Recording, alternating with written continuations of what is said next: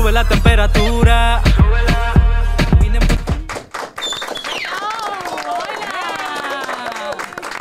Felices estamos. Estamos en vivo y en directo desde la cabina de Cachicha. Estamos compartiendo con ustedes por YouTube, por Instagram, por todos los videos en vivos de cada una de nosotras. Y de verdad que estamos emocionadas, ¿sí o no? Contentísimas, agradecer a ustedes por compartir con nosotras y sobre todo aceptarnos de la manera que lo han hecho. Nosotras felices de ser mujeres intensas y pertenecer a su círculo. Gracias.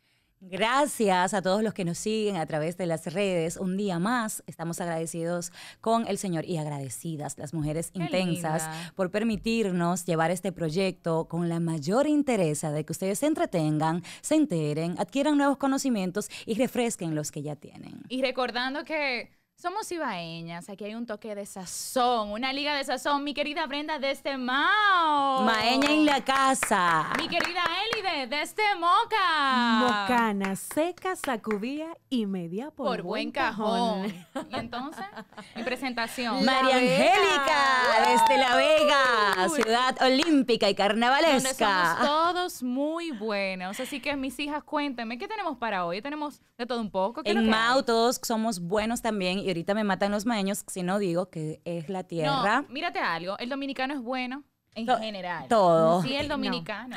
Todo el dominicano es bueno. Las mocanas somos buenas y hermosas. Pero ya eso es de buenura, de, de- de cómo estoy físicamente. Pero en Claro, real- en, realidad, los claro. dominicanos, en nuestra forma de ser, somos gente muy calurosa, muy servicial, con valores muy especiales. Somos gente buena, ¿sí o no? Los dominicanos somos buenos todos. No, de verdad que sí. Tú sabes que cada persona que siempre viene y visita República Dominicana se va con que la gente Sí. es buena, la acogida, el trato. Exacto. Se va Pero sobre todo en mi pueblo, Ok. en Mao, Ahora viene una competencia de pueblos. la gracias. hospitalidad nos caracteriza y además los ríos que tenemos, el atardecer más bello de todo el país, allá lo pueden encontrar. Claro. Y somos la capital del banano. Por si te gusta, ¿te gusta el banano? Sí, me encanta. Hay Maduro para y verde. Ok, ok. Chicas, ustedes saben que tenemos varias cosas en común las tres. Lo primero es que obviamente somos mujeres, Sí. somos jóvenes, somos espontáneas, somos intensas. Me gustó lo de jóvenes. Sí, sí. Hay, Me has, me has arreglado el día, María hay Angélica. colágeno aquí. Claro, yo por ejemplo en mi caso el colágeno está a millón. En el caso de Eli está ahí más o menos. Y el mío ya de está diciendo no adiós. Pero, Mira, déjame decirte que a esta altura de juego el colágeno no está en la edad. El colágeno está en el trato que tú te das como mujer. ¿Cómo amor, te cuidas? Pero hasta los y 25 déjame años. decirte que mi colágeno me dicen que está muy bien. Sí, Te los pero- midieron ya. Claro. Chicas, pero otra cosa que tenemos en común, a ver si no me equivoco, es que las tres vivimos con nuestros padres, ¿sí o no? Yo vivo con Eh, mami. Pero ¿y ¿por qué había que tocar ese tema? Yo vivo con un mami. dato para los seguidores. Somos, todavía estamos en casa de mami y papi. En mi caso vivo con mi madre. Yo también vivo con mi madre, Elide. Sí, con mami. ¿Y hasta qué edad es que uno debe de vivir con los padres? Y hay una edad para eso. Bueno, yo quisiera pasarme la vida. Yo, yo le digo a mami, señores, yo le digo a mami, mami, cuando yo me case, vamos a dormir mi esposo, tú y yo. No creo que tu ricura, esposo lo acepte. Qué Claro, ricura, qué señores, no, no hay nada más rico que el abrazo de su madre, el cariño y el amor. ¿Sí o no? Mira, yo te voy a decir una cosa. Yo eh, estuve viviendo sola hace un tiempo y volví a casa de mami. Como buena hija. En este año, o- nuevamente. Pero volví porque mami eh, está sola, eh, solamente estoy yo, quedo yo en Moca, mis hermanas viven en Santo Domingo y yo vi que no había la necesidad de yo vivir sola. ¿Por qué? ¿Verdad? Entonces, esa fue la decisión. Ahora, mi mamá y yo vivimos como dos amigas, literal. Yo aporto en la casa, o sea, es algo eh, En común. en común, ¿me Sí. entiendes? Ahora, ahora bien, estos mantenidos, aprovechados, que viven en casa Sí. de mami y papi, dándole todo, poniendo a mami a hacer un bojote de vaina, una mujer vieja que se merece ya respeto, que se merece tiempo, yo no voy de acuerdo con eso. En mi caso igual No. vivo con, con mi madre, nunca he salido de la casa creo que tengo el ombligo enterrado allá cuando se me presentan las posibilidades de irme a vivir a otro lugar, pero como tú dices, aporto en la casa en todos los sentidos y aunque los padres siempre viven diciendo que cuando que te vas a ir, yo creo que todavía no es tiempo, mami. Dame 10 años más Yo creo que para disfrutar fondo- de tu presencia. En el fondo, yo siento que los padres nunca quieren que nosotros no vayamos. Sí es parte de la vida, nacer, crecer, que yo te enseñen, te críen, pero llega un punto donde ya uno tiene que volar, es parte de, del Ahora, ser déjame humano. decirte algo. Es muy, es más chocante para la sociedad ver a un hombre que todavía después de los 30 vive con mami. ¿Por qué? Pero ¿por qué hombre específicamente? También ¿No es eso- hombre y mujer? No, no, no. Hay No. un choque. Hay un choque de social cuando un hombre pasa de 30 años y todavía vive con mami. Hay una presión social, sin ay, duda. A diferencia de la mujer. Tú te hay puedes quedar mujer. como mujer hasta los 60 viviendo con tu madre sí, y a nadie le normal. importa. Son dos amigas, como dice Elide, Sí. que están haciéndose compañía y no se casó, no quiso, no se quiso ir de casa. Pero cuando el chico está a 30, 32, 35, como ¿y la novia para cuándo? Emma, yo le voy a decir una cosa. Un hombre que tenga más de 30 años y que me diga que vive con su papá y su mamá, yo digo, mm, y que se quiere de que, te- de que casar conmigo. ¿Qué tú dices que no, es? No. No, pues si tú supieras que depende mucho del hombre, depende de lo que hace. No, vaya de ahí. No Depende mucho del hombre, de la persona. Si es un hombre trabajador, un hombre independiente que aporte en su casa, porque oye, otro factor que hay que ver, espérate, Elide. Calma, pueblo. El factor que hay que ver es si es una madre soltera, porque si están los dos padres juntos, ya es más entendible que tú puedas volar, porque ya tú tienes con quién dejar. Ah, uno bueno, ahí sí, porque por ejemplo en mi caso, Eh, mami es una mujer soltera. Exactamente. Exacto. Yo lo pensaría 10 veces antes de irme rotundamente de mi casa y dejar a mi madre Sí, sola. ahí sí. Entonces vamos a observar a esos hombres que sí viven con sus pa- con su madre en ese caso o con sus padres. Hay que ver, o sea, alguna razón por la cual ellos están ahí. Sí, pero Elide se refiere, y creo en ese aspecto, más a aquellos que están mami, papi y hasta los hermanos pequeños. Y yo sigo con mi ¡Qué 35, mi pique! 38 viviendo aquí. Y trabajo y gano y nadie ve un centavo de lo mío en esa casa. Porque tú tienes un techo seguro, tú tienes dónde comer y a quién le importa. Óyeme, yo tengo amigos que están fuera y que llegan a visitar a la mamá y que le dicen, mami, sácame tal camisa, mami, planchame tal cosa. ¡Qué pique! En- ¡Oh! Entonces, ¿es cuestión de una edad o es cuestión de madurez mental o es irse de cuestión casa? de situaciones por las cuales comentamos, o sea, una madre que esté sola, un padre que esté solo, no lo vamos a dejar solo. Cuando yo me mude, al final yo nunca me voy a ir de mi casa, cuando yo me vaya mi mamá se va a ir conmigo, o sea, hay diferentes factores, hay que ver qué conlleva que esa persona esté con sus padres. Y o pero esté está con el tema, está el tema de, como le dicen, el, el chico mamita, que siempre está con mami, y Los se casa odio. y se lleva la novia para ¿Qué donde ¿Qué mami es un hombre también. mamita? ¿Qué es un hombre mamita? planeta. Por ejemplo, Definan hombre mamita, defínenlo. bueno, en este caso, hijo mamita, con mamitis Ok. Aguda, Ajá. que hasta para tu boda tu madre es que tiene que elegir el traje de qué color que tú te lo vas a poner y dirigir todo, suegras. dirigir todo en tu boda. Eso es ser mamita, porque se supone que si te vas a casar es porque ya tú tienes una independencia emocional de, de- de tu madre y también independencia económica. O no sé cuál sea la situación, tú tienes derecho a tomar decisiones para con tu novia. No necesariamente tu madre tiene que estar riendo tu vida hasta no se sabe cuánto. Atención aquí, dice un caballero de los del live, yo vivo con mi madre, pero es que ella no puede vivir sola. Eso es un Yo caso. pago mi renta, yo pago ¿Viste todo. lo que yo dije ahorita? Ella pasa, se la pasa viendo televisión Ah, bueno. y en tranquilidad. Un aplauso para Muy ese caballero. bien. Ese caso es muy, muy aceptable. Claro que sí. Mira, dice no- aquí, dice aquí, Julio Arias, hola, no todos somos así. Ah, ojo al dato, no todos son iguales, no todos se quedan para vivir de la familia en casa. Hay situaciones como la del señor Julio, sí, claro. sí, sí. Así es, totalmente. Pero es como le digo, chicas, hay que ver la situación, obviamente. Claro. Pero hay hombres que lamentablemente... ¿Ustedes saben cuáles son las culpables de que haya, haya hombre mamita?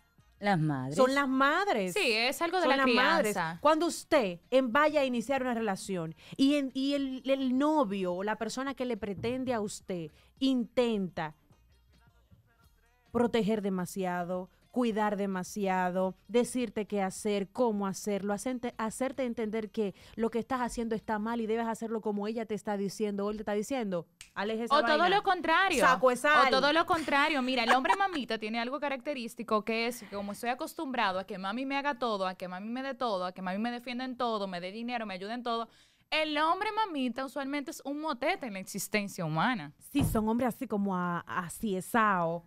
O sea, Creo, creo como que están que, ahí. Que la etapa de tomar una decisión de irte a cierta edad o por cierto estado de madurez mental, la, la conciben los padres desde que tú estás Claro, pequeño a través claro. de la crianza. Claro, Tienen sí. que aprender a criar con independencia, que Exacto. no para todos necesites de alguien que te dé la comida ahí y que te, como que te eche la comida en la boquita y después que te la eche, que te mueva la quija. Así no. ¿Qué tú quieres de comer hoy? Entonces hay que enseñar a los hijos a estar en, en espacios donde ellos desarrollen su independencia, donde no estén atentos a nadie, que si tienen hambre pues busquen cómo solucionar y cocinar o comprar algo, que si necesitan lavar que laven y ya en el mañana eso le va a beneficiar. No es ningún daño que usted está haciendo madre, usted le está ayudando para la vida porque Para usted no es eterna. Lamentablemente uno quisiera que las madres fueran eternas, pero un día no estarán.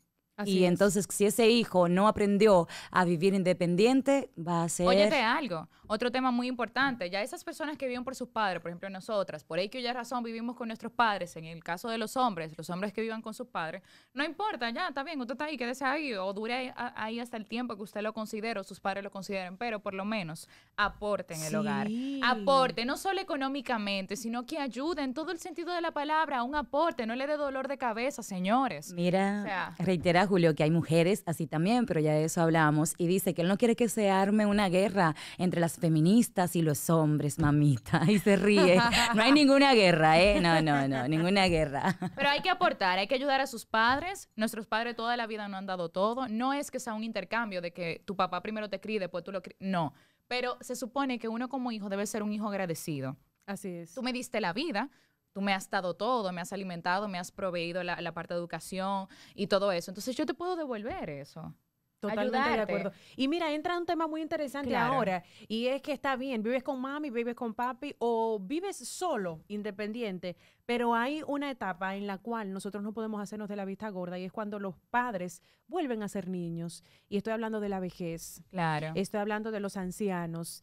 De verdad que eh, es un tema que me consterna un poquito porque vemos los, los centros de, de asilos de ancianos Llenos. llenos Repletos. y vemos los hijos llenos de vigor, llenos de fuerza, trabajando. Y la verdad que yo no entiendo que esta sea la mejor forma como o el mejor futuro que nosotros podamos darle a nuestros padres. Mira, Yo, yo, no, yo no sé lo que piensan ustedes. Estoy muy de acuerdo contigo y te digo que yo soy muy delicada con mi madre y le agradezco todo lo que me ha dado y cuando llega un punto donde ella ya no pueda por sí sola, ella va a contar 100% conmigo. Ahora bien, esos casos a veces, aunque uno tiene que aprender a perdonar, a madurar y a sanar, a veces esos casos se dan porque la relación de padre a hijo no fue muy, bu- muy buena. Hay que ver esos casos donde los padres realmente no asumen su rol. Bueno, sí. Porque ser padre no es solamente engendrar y darle dinero mensual, es criar, Sí. es darle amor. Hay que ver cómo fue esa relación de ese padre a ese hijo, porque uno, uno cosecha lo que siembra. Sí, pero independientemente ese tema, tú tienes que mirar el presente.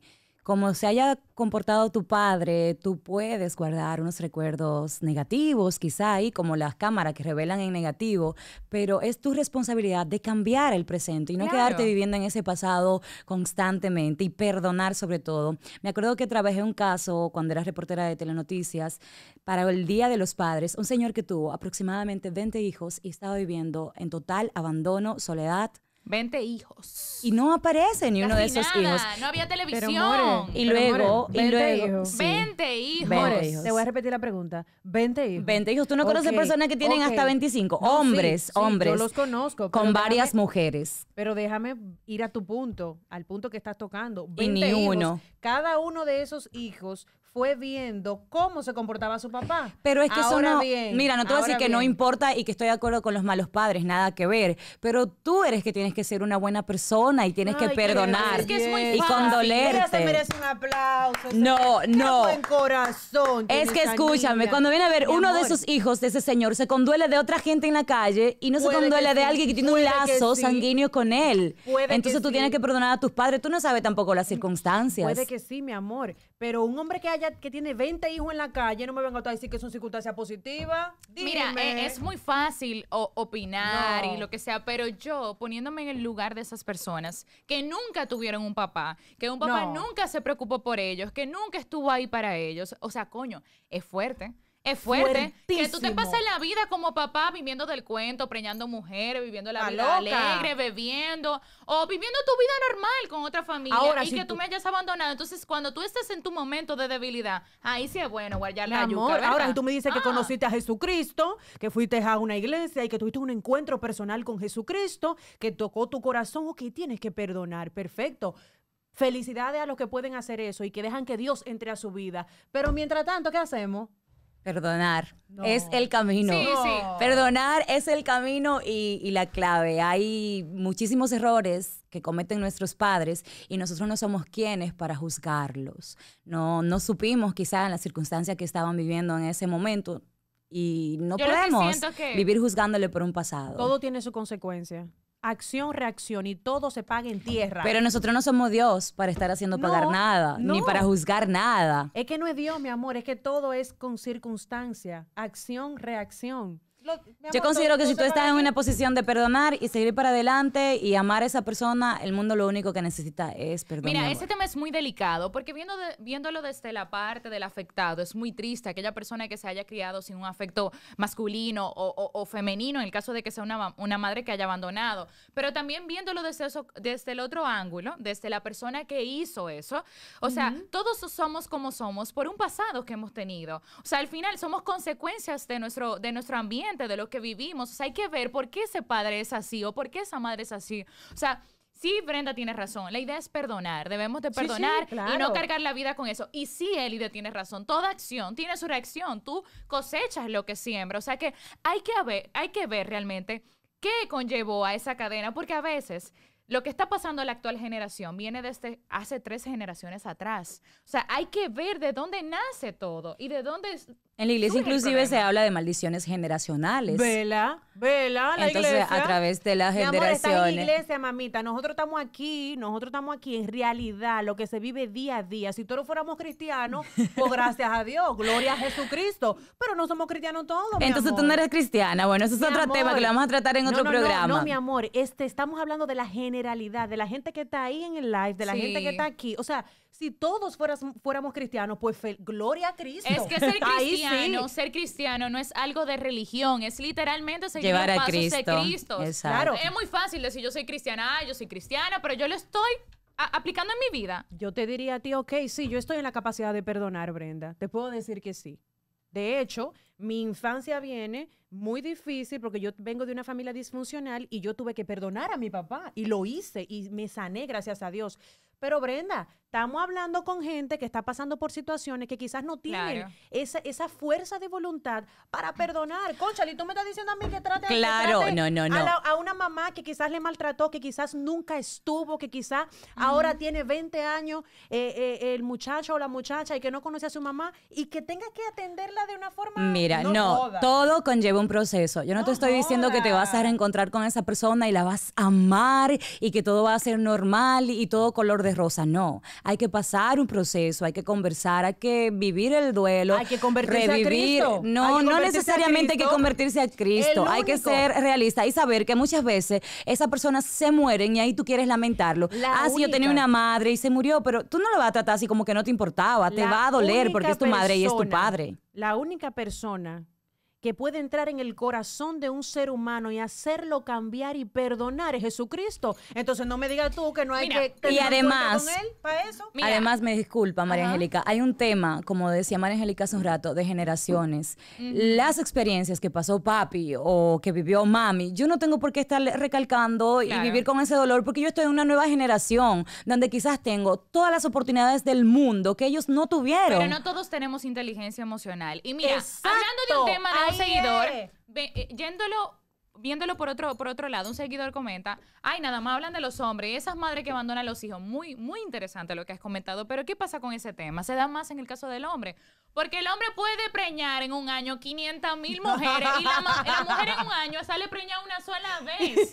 Claro, si son mellizos, bueno, como quiera sale una vez embarazada. Y si es inteligente. Óyeme, exacto, es inteligente, pero no es lo mismo. El hombre puede preñar todos los días unas. Sí, sí es posible, claro, es- claro No, no, está. no. Pero nosotras no. Y sí es verdad, hay mujeres que no cumplen con su rol de madre, porque Sí, sí, no, sí. tampoco es que no se da. Claro que sí, hay mujeres que viven la vida alegre, que no se cumple, o sea, es un desastre. Pero el Está- peso- Pero es más, es más Pero común realidad, en los hombres. exacto, en realidad, la- las que toman este tema más en serio son las madres cuando se trata de- criar a un hijo. Sin embargo, cuando se trata de criticar, el peso social recae sobre todo, exacto, sí, encima Sí, de la sí. mujer, porque tiene una presión, ¿por qué? Porque ya nos acostumbramos y normalizamos que está bien que el padre se vaya, que está bien que el Y padre no no, está críe. bien. Y no está bien. ¿Quién hizo ese muchachito, los dos? ¿Quién fue que lo hizo? No Entonces, está si la madre lo abandona, ella es una malvada, una desconsiderada, no tiene es bueno amor. coger gusto y no atender muchachito. Y contra- muy bien. Ese pobre padre que se quedó con esos niños, Dios mío. Ahí sí, le Entonces, ponen hasta un trofeo. queda, no problem. Pero nada, el mundo es mundo porque hay de todo. Al final ya para cerrar quizás el tema de los padres, cuando, como decía Elide al principio, cuando los padres llegan a cierta edad, que ya no se pueden valer por sí solos, ¿quién está destinado a cuidarlos? ¿Las hijas o los hijos? Eso no tiene que ver con sexo. No si ustedes son hijos, tienen que todos poner de su parte. Por ejemplo, en mi caso, que, que no se da mucho, en mi caso, mis abuelos, cuando estuvieron ya en un punto crítico antes de morir, mis, todos mis tíos, que son 10 hermanos, los 10 duraron casi 10 años cuidando a mis abuelos. ¿Cómo lo hacían? Eso es un caso Diario- excepcional. Por eso dije que era, que era raro. Sí. Diario iba una hermana a cuidarlo. En las noches se turnaban dos hermanas una noche, dos hermanos otra noche, el varón otra noche. O sea, todos fueron partícipes. O sea, si tú eres hijo y tu padre te dio todo, no importa si tú eres hombre o mujer, se supone que tú tienes que hacerte responsable de tu papá. O sea, eso no tiene que ver con el género, con el sexo. En tu casa fue excepcional, porque casi siempre, para no decir siempre y generalizar, le dejan la carga a las hijas. Sí. Y el hijo se hace loco. En Eso el sentido de cierto. si tú puedes resolver económicamente, amanece tú, Porque manita. dicen que los hombres no saben hacer nada, que no pueden. Mire, coño, Se un hombre puede escudan. hacer un muchachito, puede hacer de todo. Ah, si un hombre puede ser un muchachito, puede hacer de todo. Y toditos saben hacer muchachito. Así que pueden atender a sus padres y pueden hacerse responsables de los quehaceres del hogar. Miren, se escudan detrás de eso, de que no saben hacer nada, que quizás tienen otras responsabilidades. Así sí es bueno. Y no pueden amanecer quizás en la clínica o en el hospital cuidando a papi, a mami, o no puedo ir a la casa y quedarme cuidándolo, no puedo, muchas veces los padres hay hasta que cambiarle los pañales, cuidarlo, ayudarlo a caminar. Sí, hay que hacer no puedo, Lo hermana. mismo que ellos hicieron con nosotros cuando éramos Entonces dicen, chiquitos. hermana, encárgate, encárgate tú y lo económico yo te lo sustento, pero no es eso. El amor no está en que tú sustentes con dinero. Dinero ese, aparece. ese padre se va a sentir bien y esa madre viéndote ahí, estando presente, ayudándole, dándole abrazo, dándole un Amor. apoyo presencial. Pero nada, como les dije, el mundo es mundo por algo, en el mundo hay de todo, pero tenemos que poner de nuestra parte y ver que las cosas no es por el sexo que nosotros tengamos, no importa que tú seas hombre o mujer. Si tú tienes tus padres, tú tienes automáticamente un compromiso, como ellos de alguna manera u otra lo tuvieron contigo. Sí hay casos eh, que tienen sus excepciones, pero vamos a tratar de hackear el sistema y hacer algo diferente. Pero aquí...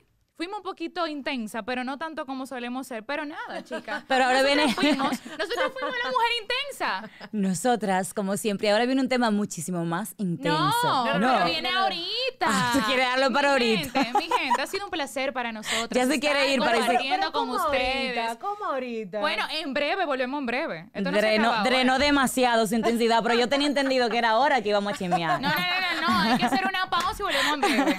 Hablamos ahorita. Vamos ahora. Sube la temperatura. Se maquilla y se arregla pa' verse dura. Zapatos y cartera de diseñador. Lo subió al Instagram y se prendió.